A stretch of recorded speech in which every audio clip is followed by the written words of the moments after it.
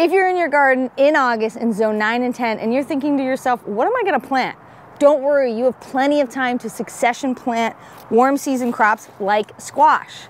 In August in zone 9 and 10, you can succession plant any direct sown seed. So that's squash, that's cucumber, that's beans, anything that you put the seed directly in the ground and it grows very quickly. You have plenty of time to do a second, maybe even a third round of that crop.